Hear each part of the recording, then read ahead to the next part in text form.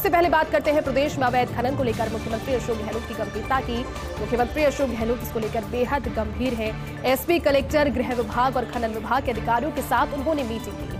मुख्यमंत्री गहलोत अधिकारियों को साफ़ निर्देश दिए हैं। अवैध खनन के खिलाफ अभियान चलाने के ये निर्देश मुख्यमंत्री अशोक गहलोत ने दिए हैं। विभिन्न विभागों के अफसरों को समन्वय के निर्देश भी मुख्यमंत्री अशोक गहलोत ने दिए हैं। साथ ही अवैध खनन माफियाओं के द्वारा कुचलने की घटना पर नाराज़गी मुख्यमंत्री गहलोत ने ज़ाहिर की। हाल ही में हुई हरियाणा के नोहगांव में डीएसपी की हत्या पर भी उन्होंने खेद व्यक्त किया। कई जगह में, पूर्व में भी इस प्रकार की खबरें आती रही है, जिसमें खनन माफियाओं का आतंक लोगों की जान पर कहर बनकर टूटा है और मुख्यमंत्री अशोक गहलोत इसको भली बात समझते हैं। इस मामले की संजीदगी को, इस मामले की गंभीरता को समझते हुए उन्होंने आज एक बैठक ली और इस बैठक में साफ़ तौर पर निर्देश दिए हैं। साथ ही जिन अधिकारियों की मिलीभगत पाई जाती है, उनको लेकर मुख्यमंत्री गहलोत ने कहा कि ऐसे अधिकारियों और कर्मचारियों के खिलाफ कड़ी कार्रवाई होनी चाहिए। तो ये सख्त रुख इख्तियार किया है मुख्यमंत्री अशोक गहलोत ने।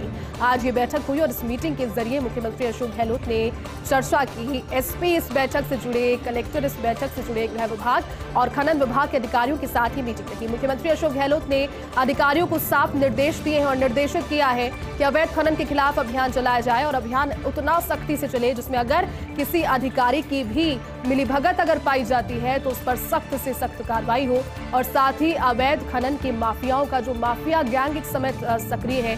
बात यहाँ प्रदेश की अगर हो रही है, प्रदेश में भी कई ऐसे जगह हैं जहाँ पर अवैध खनन को लेकर के लगातार बातें, जानकारियाँ सामने आती है। कई लोगों की हत्या भी की जाती है। अवैध खनन माफियाओं के द्वारा कुचलने की घटना पर नाराज़गी मुख्यमंत्री गहलोत ने इस मीटिंग में ज़ाहिर की और साथ ही कई जगह, जो कि पूर्व में भी इस प्रकार की खबरें सामने आती रही है, अधिकारियों की अगर मिलीभगत पाई जाती है, उसको लेकर भी सख्त रोक उन्होंने कहा कि कड़ी से कड़ी कार्रवाई ऐसे अधिकारियों के खिलाफ भी होनी चाहिए। तो वही प्रदेश के शैक्षिक ढांचे के कायाकल्प में गहलोत सरकार जुटी है। जी हाँ मुख्यमंत्री गहलोत ने हायर सेकेंडरी स्कूलों को लेकर के बड़ा फैसला लिया। स्कूलों में उप प्रधानाचार्य यानी कि एल फोर्टीन के 12,421 नव पदों के सृजन के प्रस्ताव को मंजूरी मुख्यमंत्री गहलोत ने दी है। एक तरीके का नया नवाचार उप प्रधानाचार्य के ये नवीन पद पंचायत स्तर और शहरी क्लस्टर में स्थित 10,217 विद्यालय। इसके अलावा दो से अधिक नामांकन वाले 2,204 विद्यालयों में सृजित किए जाएँगे। और सरकार के इस फैसले से इन स्कूलों में गुणवत्तापूर्ण शिक्षा के लिए प्रबंधन तंत्र को सुदृढ़ होने, शैक्षिक कार्यों का सुचारू संचालन और परिवेक्षण बेहतर हो पाएगा। साथ ही विभाग में पदोन्नति के अवसर भी बढ़ेंगे और भविष्य में पदोन्नति चैनल में अधिक स्पष्टता आएगी।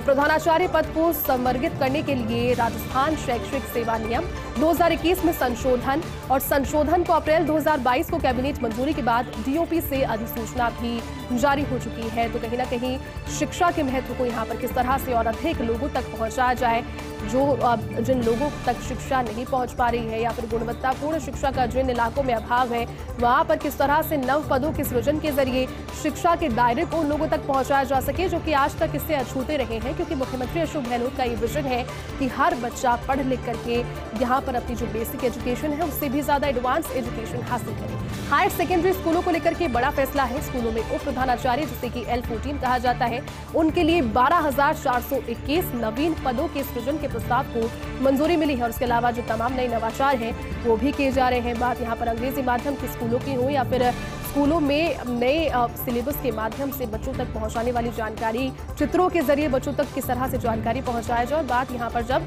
हायर सेकेंडरी स्कूल की हो रही है, उसको लेकर भी बड़ा फैसला। उप प्रधानाचार्य एल फोर्टीन के बारह नवीन पदों के सृजन के प्रस्ताव को मंजूरी मुख्यमंत्री अशोक गहलोत ने दी है। तो वहीं प्रदेश के किसानों को लेकर भी गहलोत सरकार गंभीर है। मुख्यमंत्री गहलोत ने राज्य कृषि बजट को लेकर समीक्षा बैठक में कहा आधुनिक तकनीक आधारित खेती से किसानों की आय बढ़ेगी। तो देखिए, शिक्षा की यहाँ पर बात हुई।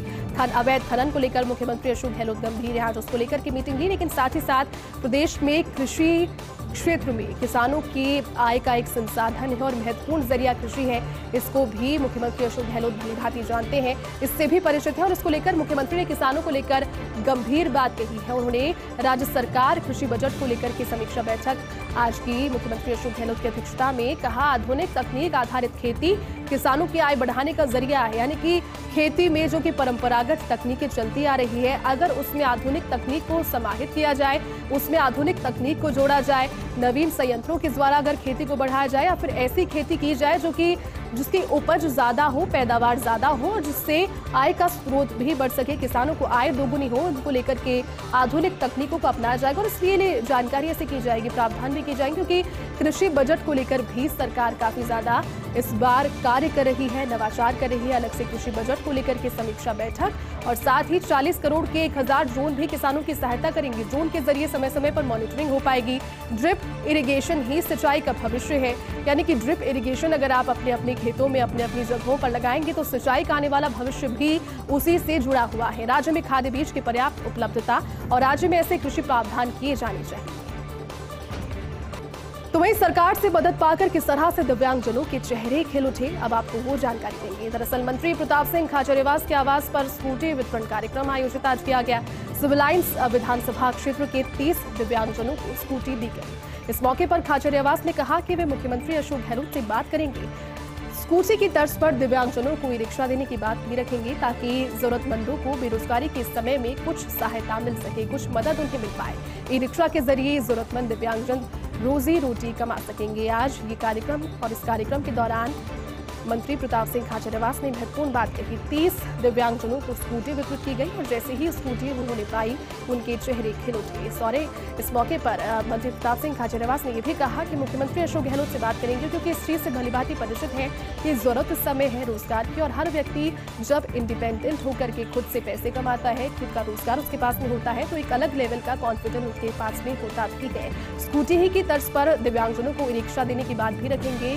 मंत्री प्रताप सिंह खाचरियावास ने इस दौरान ये बात कही। कार्यक्रम के दौरान उन्होंने कहा कि जिससे जरूरतमंदों को बेरोजगारी के समय में, इस कठिन समय में कुछ मदद मिल सके, आजीविका का एक साधन उनके पास में हो, एक तरीके की कॉन्फिडेंस उनके ज़िंदगी में बूस्ट से हो पाएगा। और ई रिक्शा के ज़रिए जरूरतमंद दिव्यांगजन रोजी रोटी भी कमा सकेंगे। अपनी लंबित मांगों को लेकर एक बार फिर से आंदोलन की राह पर सरपंच। जी हाँ, पूरे प्रदेश में सरपंचों ने पंचायतों में पाक्षिक बैठकों का बहिष्कार किया। ग्राम पंचायत और सरपंचों की ओर से तालेबंदी की गई। दरअसल 25 जुलाई को जयपुर में सरपंच संघ के ब्लॉक अध्यक्ष व जिला अध्यक्षों की बैठक बुलाई गई है। आंदोलन की आगामी रणनीति की तैयारी इस बैठक में की जाएगी। साथ ही सरपंचों की नाराज़गी और पंचायती राज मंत्री रमेश मीना का बयान भी दौरान आया। उन्होंने कहा कि मैंने कभी सरपंचों के लिए कुछ गलत नहीं बोला।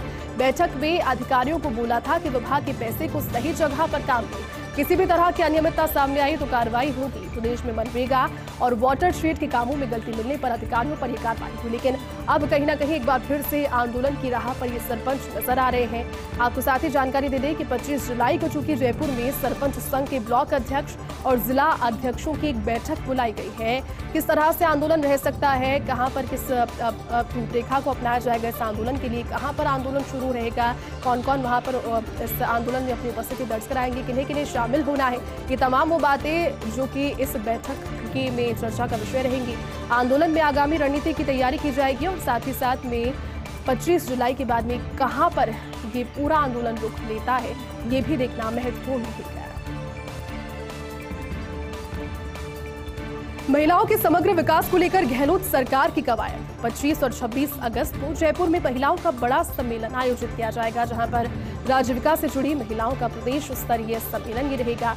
ग्रामीण विकास एवं पंचायती राज मंत्री रमेश मीणा ने प्रेस वार्ता की। उन्होंने ये प्रेस वार्ता के दौरान जानकारी दी। कहा, मुख्यमंत्री अशोक गहलोत भी इस सम्मेलन में शामिल होंगे। महिलाओं को लेकर सीएम कर सकते हैं सम्मेलन में घोषणा।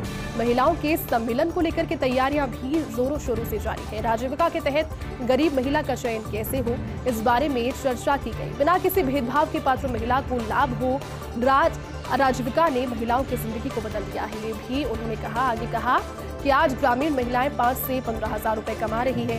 सरकारी योजनाओं के प्रचार प्रसार का काम भी राजीविका की महिलाओं के हाथों ही होगा। दो, पच्चीस और 26 अगस्त को जब यह बड़ा सम्मेलन होगा, जिसमें मुख्यमंत्री अशोक गहलोत भी शिरकत करेंगे, जानकारी ये है की कई घोषणाएँ भी इस मंच से मुख्यमंत्री अशोक गहलोत महिलाओं के लिए कर सकते हैं। चलिए बात कर लेते हैं राजस्थान के भाजपा के सांसदों के गजब के कॉन्फिडेंस के बारे में। तो प्रदेश में आगामी विधानसभा चुनावों को लेकर के गजब का कॉन्फिडेंस सभी में नज़र आ रहा है। सभी सांसद 2023 में भाजपा की सरकार को लेकर आश्वस्त हैं। जब सांसद आपस में राजस्थान को लेकर ज़िक्र करते हैं तो हर सांसद गजब के कॉन्फिडेंस के साथ में जवाब देते हैं। कहते हैं, सब ठीक है जी, राजस्थान में 2023 में बन रही है भाजपा की सरकार। हालाँकि राजस्थान में सीएम चेहरे को लेकर सांसद अभी भी असमंजस में है। चेहरे को लेकर क्लैरिटी भले ही ना हो, लेकिन बॉडी लैंग्वेज में कॉन्फिडेंस पूरा है। जब भी बातें होती है, भले ही मीडिया के सामने हो, किसी कार्यक्रम के दौरान हो, सांसद यही कहते हैं कि 2023 में राजस्थान में भाजपा की सरकार बन रही है, इसमें कोई संशय नहीं है। इसके लिए पूरी तरह से आश्वस्त है। चेहरे पर अभी हालाँकि पेज फंसा हुआ है। कौन होगा चेहरा भारतीय जनता पार्टी की ओर से? मुख्यमंत्री की रेस में लिए इसको लेकर के लगातार अभी भी एक तस्वीर स्पष्ट नहीं हो पाई है, लेकिन जिस तरह से एक्टिविटी अब बढ़ी है एक्टिवनेस जिस तरह से बढ़ी है बाहर से भी लगातार जो आला नेता है, वो पहुँच रहे हैं। आला चेहरे भारतीय जनता पार्टी के पहुँच रहे हैं और प्रधानमंत्री नरेंद्र मोदी जिस तरह से हर राज्य में विधानसभा चुनावों से पहले एक चेहरे की महत्वपूर्ण भूमिका प्ले करते हैं, हो सकता है राजस्थान में भी उनके ही चेहरे के बाद में जिस भी उम्मीदवार के जिस भी कैंडिडेट का नाम ऐलान हो, लेकिन चेहरा मुख्य तौर पर प्रधानमंत्री नरेंद्र मोदी का विधानसभा में। और इसी को लेकर के आश्वस्त भी सांसद खूब आश्वस्त हैं, कहते हैं कि सब ठीक है। राजस्थान में दो हज़ार तेईस में भाजपा की सरकार बन रही है, ये उनका कॉन्फिडेंस हर बार कहता है। आगे बढ़ते हैं, मंत्री परसादी लाल मीणा की पीड़ा को समझा नेता प्रतिपक्ष कटारिया ने कहा, परसादी लाल मीणा के साथ मैंने कई वर्षों तक काम किया है। प्रेशर बिल्डअप करके आदमी से कोई करवाना चाहता है काम तो आदमी पेजअप होता ही है। अपने ही कार्यकर्ता जब आपसे ही बात को समझने के तैयार नहीं होते, सामान्यतः वे चाहते हैं कि व्यवहार में किसी प्रकार का सुधार हो। प्रसादी लाल मीणा पहले व्यक्ति हैं जिन्होंने डेपुटेशन पर लगे, लोगों के डेपुटेशन कैंसिल करवाने की बात कही। इससे लोगों के मन में गुस्सा तो आ गया कई लोगों ने तो केवल तनख्वाह लेने के लिए ही वहाँ पर बैठना समझा है। उचित तनख्वाह देने के लिए भी अधिकारी को उनके घर जाना पड़ता है। ऐसी दुर्गति एक साल से नहीं, कई साल से जारी है। मेडिकल महकमे में सुधार करने के लिए सख्ती करते तो नाराज़गी होना स्वाभाविक है। उनके मन में ये पीड़ा है कि मैंने डिपार्टमेंट में सुधार करने का प्रयास किया तो मेरे ही लोग मेरे खिलाफ ऐसी बातें कर रहे हैं। उनका मन आक्रोश में आ गया और वो ये बोल गए और हो सकता है कि उन्हें किसी ने धमकी दी हो। उनकी पुलिस, ना उनकी सरकार। मारने की धमकी मामले में सीधे मुख्यमंत्री को कहना चाहिए। साथ ही वाजेब अली को लेकर उन्होंने कहा, सरकार पर जब ही संकट आया तो उन्हीं पर गुड़ लगाया गया। ट्रांसफ़र का जो कोटा लोड किया गया, उसमें कुछ हुए, कुछ नहीं हुए।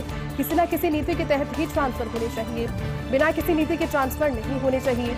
नहीं तो प्रशासनिक सुधार नहीं होगा। आगे उन्होंने कहा कि वाजिब अली ही नहीं, कई लोगों ने सरकार को टिका कर रखा है। उसमें से 70 परसेंट लोग यही रोना रो रहे हैं। चलिए जानते हैं राजकाज की बात। राज्य की ब्यूरोक्रेसी में अब एक नया सवाल। कौन बनेगा उपराष्ट्रपति का सचिव? चूँकि अगले माह कार्यकाल संभालने वाले हैं जगदीप धनखड़। किसी सीनियर अफसर को बनाया जाएगा सचिव। रिटायर्ड या फिर वर्किंग आईएएस को भी चार्ज मिल सकता है। धनखड़ का कार्यक्षेत्र राजस्थान से भी बाहर है और हरियाणा, साथ ही दिल्ली में भी उनकी अच्छी पकड़ है। कहीं से भी तलाश सकते हैं अपने पसंद का सचिव, यानी कि उनके पास में ऑप्शन की कमी नहीं है। राजस्थान में तो अच्छी पकड़ है ही, लेकिन हरियाणा और दिल्ली में भी उनकी काफ़ी अच्छी पकड़ है। अपने पसंद के सचिव को देखते हैं कि कहाँ से चुनते हैं जगदीप धनखड़ लेकिन राजस्थान के किसी अफसर को प्राथमिकता मिल सकती है, ऐसी जानकारी भी है। अफसर को दिल्ली के कामकाज का अनुभव होना ज़रूरी है।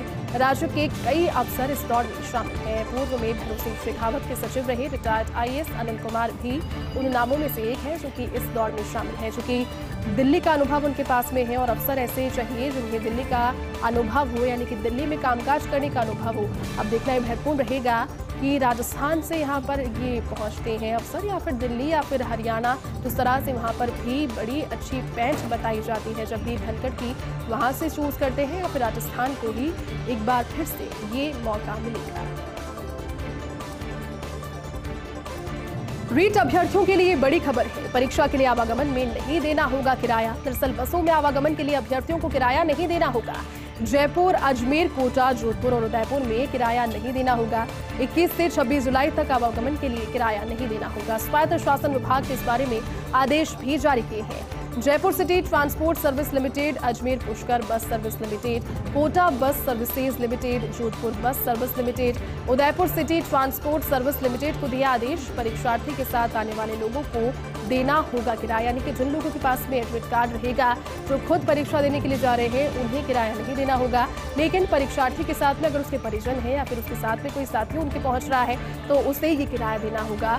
21 से 26 जुलाई तक ये सुविधा जारी रहेगी इक्कीस से छब्बीस जुलाई तक आवागमन के लिए किराया नहीं देना होगा। और स्वायत्त शासन विभाग ने इस संबंध में आदेश भी जारी किए हैं। Jaipur city transport service limited, इसके अलावा Ajmer, Pushkar bus service limited, Kota bus services limited, Jodhpur बस सर्विसेज़ लिमिटेड, साथ ही Udaipur city transport service limited को आदेश भी स्वायत्त शासन विभाग ने दे दिए हैं। दरअसल परीक्षार्थी को तो यहाँ पर किराया नहीं देना होगा, लेकिन परीक्षार्थी के साथ कोई अभिभावक पहुँच रहा है, अगर कोई परिजन या फिर कोई साथी है तो उससे ये किराया देना होगा, लेकिन इस किराए के दायरे से परीक्षार्थी अपना एडमिट कार्ड दिखा करके यहाँ पर किराया देने से बच सकते हैं। किराया उन्हें नहीं देना होगा। तो रीट की परीक्षा में परीक्षार्थियों की सुविधा के लिए रेलवे की भी कवायद सामने आई है। हिसार, खातीपुरा, जयपुर। हिसार परीक्षा स्पेशल ट्रेन चलेगी मुख्य जनसंपर्क अधिकारी कैप्टन शशि किरण ने ये जानकारी दी है। शून्य चार सात शून्य सात। हिसार, खातीपुरा, जयपुर। परीक्षा स्पेशल 22 और 23 जुलाई को चलेगी। शुक्रवार और शनिवार को हिसार से रात दस बजकर बीस मिनट पर इसकी रवानगी रहेगी। अगले दिन सुबह सात बजकर दस मिनट पर जयपुर जंक्शन ये स्पेशल ट्रेन पहुंचेगी। सात बजकर पच्चीस मिनट पर खातीपुरा पहुंचेगी। सुबह आठ बजकर दस मिनट पर खातीपुरा ये ट्रेन पहुंचेगी। शून्य चार सात शून्य आठ खातीपुरा जयपुर। हिसार परीक्षा स्पेशल तेईस और चौबीस जुलाई को चलेगी। शनिवार और रविवार को खातीपुरा से शाम सात बजे रवाना होगी। जयपुर स्टेशन पर शाम सात बजकर पैंतीस मिनट पर इसका आगमन रहेगा। सात बजकर पैंतालीस मिनट पर ये जाएगी अगले दिन सुबह पाँच बजकर दस मिनट पर हिसार पहुंचेगी ट्रेन। बीच में सतरोड, हांसी भवानी खेड़ा भिवानी, चरखी, दादरी, झाड़ली, कोसली, रेवाड़ी, कुंड, अटेली, इसके अलावा नारनौल दाबला और नीम का थाना कामट, श्रीमाधोपुर, रिंगस, गोविंदगढ़, मलिकपुर, चौमू और सामोद। साथ ही ढेर का बालाजी, जयपुर, गांधीनगर, जयपुर और गैटोर, जगतपुरा में ये ट्रेन रुकने वाली है। तो ये सुविधा, जहाँ पर बसेस में सुविधा मिल पाएगी, परीक्षार्थियों को किराया नहीं देना होगा। तो साथ ही रेल, रेलवे ने भी इनकी सहूलियत के लिए ये स्पेशल ट्रेन अब चलाई है। प्रदेश कांग्रेस कार्य में लगा जनता दरबार। आज खाद्य मंत्री प्रमोद जैन भाया ने फरियादें सुनी। डेयरी संचालकों का प्रतिनिधिमंडल भी मंत्री भाया से मिला। बीएमसी चालू नहीं होने की डेयरी मंत्री से शिकायत की। मंत्री ने कहा, जाँच रिपोर्ट के आधार पर कार्यवाही होगी। भरतपुर मामले पर कहा, साधु संत जिन पहाड़ियों की बात कर रहे हैं, उनके आसपास करीब 50 से 55 लीज पहले से दी हुई है, जिनकी बकायदा ईसी भी मौजूद है। और ऐसे में वहाँ पर नियमानुसार खनन हो रहा है, लेकिन इसमें जो भी तर्कसंगत कार्रवाई होगी, वो ज़रूर की जाएगी। तो प्रदेश कांग्रेस कार्यालय में पीसीसी दफ्तर में जनता दरबार लगा। आज खान मंत्री प्रमोजन भाया ने फरियादें सुनी, कई लोग पहुँचे अपनी अपनी फरियादों को लेकर के। निस्तारण, कई समस्याओं को मौके पर ही किया गया। साथ ही डेयरी संचालकों का प्रतिनिधिमंडल भी मंत्री भाया से मिला। उन्होंने अपनी बातें कही, लेकिन साथ ही साथ उन्होंने भरतपुर मामले पर भी अपनी बात कही। उन्होंने कहा कि साधु संत जिन पहाड़ियों की बात कर रहे हैं, उनके आसपास करीब 50 से 55 लीज पहले से दी हुई है। इनकी बकायदा ईसी भी है, लेकिन ऐसे में नियमानुसार खनन वहाँ पर जारी है। लेकिन अगर वहाँ पर इस तरह का आंदोलन बीते पाँच दिन से जारी है और वो अब बढ़ता हुआ, तूल पकड़ता हुआ नज़र आ रहा है, आश्वस्त भी हालाँकि उन्हें किया गया है तो उसमें जितनी भी तर्क संगत कार्रवाई होगी, वो ज़रूर होगी। उड़ते हुए विमान का विंडशील्ड हुआ क्रैक। देश में विमानन क्षेत्र में लगातार बढ़ रहे तकनीकी गड़बड़ियों के मामले गो फ़र्स्ट की flight number G eight one five one का विंडशील्ड टूट गया। दिल्ली से दोपहर बारह बजकर चालीस मिनट पर यह रवाना हुई थी।